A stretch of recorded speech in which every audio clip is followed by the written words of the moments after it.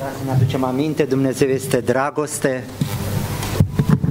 Verificarea în viața noastră a acestui adevăr este că iubim și așa cum s-a remarcat în capitolul 5, versetul 2, este și reciproca.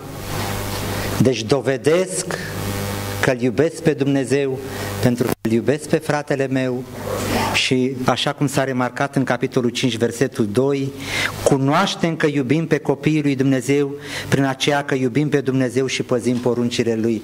Concluzia este aceasta, este grea, dar este adevărată, nu se poate una fără alta.